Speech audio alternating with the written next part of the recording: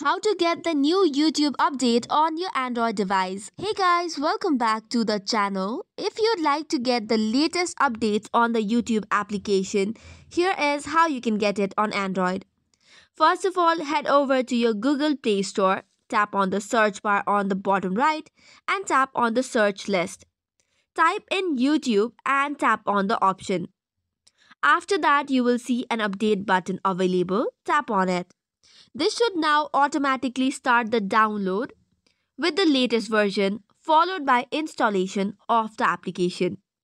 Next up, tap on the three dots on the top right corner and you will see the option Enable Auto Update.